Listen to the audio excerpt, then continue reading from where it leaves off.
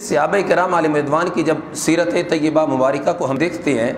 تو وہ بھی دور تھا کہ وہ صحابہ کرام عالم مردوان جن میں کوئی بھی بے نمازی نہیں تھا جن میں اکثر حافظ قرآن تھے اور جن میں ہر ایک ہی جذبہ جہاد اور شوق شہادت سے سرشار تھا اور ان میں ہر ایک ہی جب بھی ماؤ علیہ السلاۃ والام نے ان سے مال طلب کیا تو انہوں نے اپنے مال کو سنبھال کے نہیں رکھا اپنے مال کو بچایا نہیں ہے بلکہ گھر تک اپنے محبوب علیہ السلام کے قدموں پہ نچھاور کر دیا اور پھر جب انہیں کہا گیا کہ جھوٹ تمام برائیوں کی جڑ ہے انہوں نے دوبارہ زندگی میں جھوٹ نہیں بولا جب کہا گیا کہ شراب حرام ہے تو انہوں نے اپنے لبوں کے ساتھ لگائے ہوئے پیالوں کو توڑ دیا اور پھینک دیا تھا لیکن آج ہمیں محبوب علیہ السلام کے فرامین پہ کتنا یقین ہے اور ہمارا کتنا اس پر عمل ہے محبوب علیہ السلام نے فرمایا کہ نماز کو کبھی بھی ترک نہ کرو اگرچہ تمہارے ٹکڑے کیوں نہ کیے جائیں نماز کو ترک نہ کرنا اور پھر سرکار نے فرمایا کہ جس انسان کی جس شخص کی نماز چھوٹ جائے گویا کہ اس کا مال و جان اس کی عزت اس کی اولاد سب کچھ فنا ہو گیا سب کچھ ہلاک ہو گیا یعنی یہ مابو علیہ السلاۃ والسلام کے فرامین ہے لیکن ہمیں ان پہ کتنا یقین ہے اللہ ماشاء اللہ ہر ایک اپنے بارے میں خود جانتا ہے